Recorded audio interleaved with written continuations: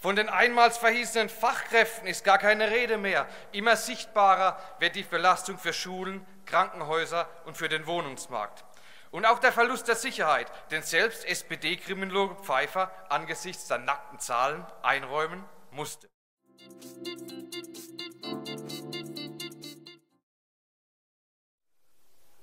Geehrtes Präsidium, liebe Kollegen, wir stehen möglicherweise vor einer Neuauflage der Großen Koalition. In jedem Fall aber sind die migrationspolitischen Vorstellungen von CDU und SPD bereits klar umrissen. Die Haltung der Grünen, die kennen wir alle bereits zur Genüge. Die FDP zeigt sich erwartungsgemäß flexibel. Eine Reform des Asylrechts, wie unlängst von Hans-Jürgen Papier gefordert und skizziert, wird parteiübergreifend verweigert. Das vorliegende Sondierungspapier von SPD und Union zeigt es klar. Die Tür nach Deutschland steht für jeden offen, der das Wort Asyl an der Grenze aussprechen kann. Die ursprünglich beabsichtigte Obergrenze ist in der Praxis eine faktische Migrantenuntergrenze, verbunden mit dem Mechanismus, entsprechende Ausreisen gegenzurechnen. Die Anzahl der Migranten im Land kann also nie mehr sinken. Und Martin Schulz hat ja bereits nachgelegt, mit der SPD wird es keine Obergrenzen geben. Die massenhafte, kulturferne und großteils unqualifizierte Migration soll also zum Dauerzustand werden, soll dauerhaft weitergehen und es mit allen finanziellen, kulturellen und religiösen Problemen, die so lange verleugnet worden sind.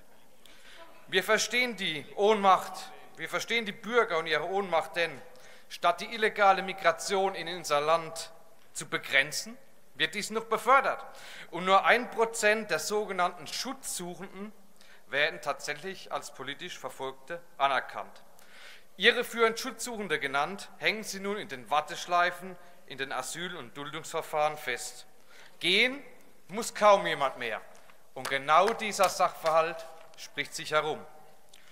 Stattdessen wird nach einem gewissen Zeitablauf daraus regelmäßig ein Daueraufenthaltsrecht. Dies ist die aktuelle Rechtsprechung der Verwaltungsgerichte.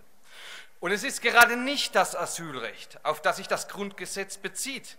Das Asylrecht wird zu einem Einwanderungsrecht für faktisch jedermann verbogen und systematisch missbraucht.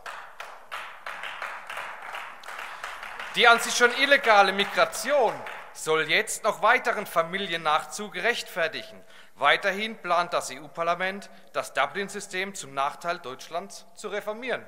Und die Bürger fragen sich zu Recht, wo soll das enden? Wo gehen wir hin? Und wie wird Deutschland in 20 oder 30 Jahren aussehen? Was sind die Konsequenzen für das Bildungssystem, für die Sozialkassen, für unsere Sicherheit, für den gesellschaftlichen Zusammenhalt und ganz besonders für die kulturellen Wurzeln unseres Landes. Und wie wird sich Rheinland-Pfalz, wie wird sich unser Bundesland verändern? Die illegale Massenzuwanderung per Missbrauch verschärft die Situation, es verschärft eine Situation, die vorher schon problematisch war. Die Bildung von abgeschotteten Parallelgesellschaften, verbunden mit der Macht der Demografie, werden unser Land tiefgreifend und massiv umgestalten. 85 Prozent der illegalen Migranten sind unter 35 Jahre alt. Und schon diese Altersstruktur zeigt, dass es gerade keine Flüchtlinge sind. Es handelt sich in vielen Fällen um Ankerkinder, die die, die geplanten Kettenmigration aus islamischen Herkunftsländern hintergründen. Von den einmals verhießenen Fachkräften ist gar keine Rede mehr. Immer sichtbarer wird die Belastung für Schulen, Krankenhäuser und für den Wohnungsmarkt. Und auch der Verlust der Sicherheit, den selbst SPD-Kriminologe Pfeiffer angesichts der nackten Zahlen einräumen musste. Die massiven Auswirkungen der demografischen Veränderung zeigen sich ebenfalls schon heute. Deutsche Kinder geraten in sehr vielen Kindertagesstätten in Rheinland-Pfalz, in Ludwigshafen, in Germersheim, in Speyer, in Koblenz oder in Andernach in die Minderheit. Auch die Zahl der Grundschulen, in denen die deutschen Kinder in die Minderheit geraten, wird weiter anwachsen.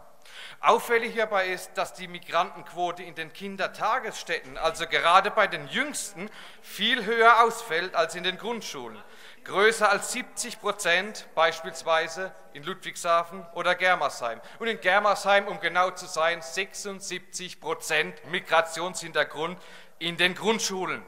Viele Kommunen wie Ludwigshafen werden sich zu reinen Migrantenstädten entwickeln. Während die ältere Generation wegstirbt, drängt von unten ein massiver Migrantenanteil nach. Und die Lage noch zu verschärfen, das hat das nicht das geringste mehr mit Asyl oder Humanität zu tun. Im Gegenteil, diese Vorgehensweise ist inhuman gegenüber der eigenen Bevölkerung. Die, die, Vorstellung, Menschen aus großteils archaischen Kulturen per Kurs auf unsere Grundwerte zu verpflichten, ist bestenfalls naiv und wird krachend scheitern. Asyl ist Hilfe auf Zeit und eine Integration ist in dieser Form nicht zielführend. Tatsache ist, in der Masse, in der Gesamtschau bringt diese Migration unserem Land keine vor, ich komme zum Ende, keine Vorteile, sondern lediglich Nachteile. Nicht Aufnahme, sondern mittelfristige Rückführung ins Heimatland ist das Gebot der Stunde. Die AfD wird die negativen Konsequenzen intensiv ausarbeiten Kollege und hier Joa, nicht locker lassen. Darauf können Sie sich verlassen. Vielen Dank.